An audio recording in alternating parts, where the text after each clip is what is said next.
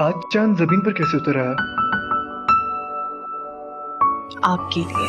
तू जो ना मिला तो गम ही यार बन गया।